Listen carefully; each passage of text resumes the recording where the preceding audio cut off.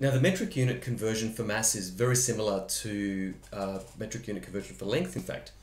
In fact, I borrowed some of the uh, part of the diagram from the last video, uh, the metric unit conversion for, for, for length. Uh, I've just changed some of the units, of course, um, but you'll notice that some of the prefixes are identical. So kilo, for example, uh, we have um, milligrams or milli, micrograms. Okay, there's kilo, kilotons, so the T is tons. Okay, now, if you notice the, the numbers in red or the arrows in red, um, they indicate what you need to do to go from a larger unit of measure to a smaller unit of measure. Okay, so converting tons to kilograms, you multiply by 1,000. Converting kilograms to grams, you multiply by 1,000. Grams to milligrams, multiply by 1,000, so on and so on. If you wanted to go from, say, tons to milligrams in one step, you just you can multiply by 1 with the number of zeros that are needed. So uh, there's nine zeros, so to convert tons to milligrams, you can you can multiply by one billion, okay, all at once. But you know, you don't have to do it all at once. You can just uh, do it one step at a time and convert between these various units. Now, this second part of the diagram here, uh, we just go beyond the ton to some slightly, or some bigger units, I'll say slightly bigger, but actually substantially bigger. Um, tons to kilotons, again, um, a thousand times bigger than a ton.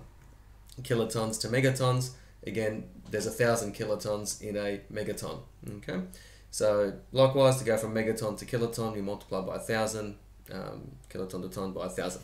Let's have a look at an example. Okay, so if I had, for example, 88 grams and I wanted to convert that to kilograms, so grams to kilograms, we follow the blue arrows, which is the division. Okay, so dividing that by a thousand, okay, and we get 0 0.088 kilograms. Okay, now let's convert kilograms into tons. So 0 0.088, again divide that by a thousand and we get, now we're going to put in, dividing by a thousand basically puts in an extra three zeros after the decimal point. So we've got one zero there, we're going to add another three zeros, it's going to make it four zeros. One, two, three, four, eight, eight. Okay, no calculator necessary. Okay, and that's in tons. All right, tons to kilotons. Okay, we got four zeros. One, two, three, four, eight, eight. Divide that by a thousand. Okay, what do you going to happen here? No need to reach for your calculator. Okay, you could if you wanted to, but if you know the pattern or you can learn the pattern, okay, we're going to put in another three zeros after the decimal after the decimal point. Okay, so instead of having four zeros, we're going to have seven. Okay, so I'm just going to put that on a new line.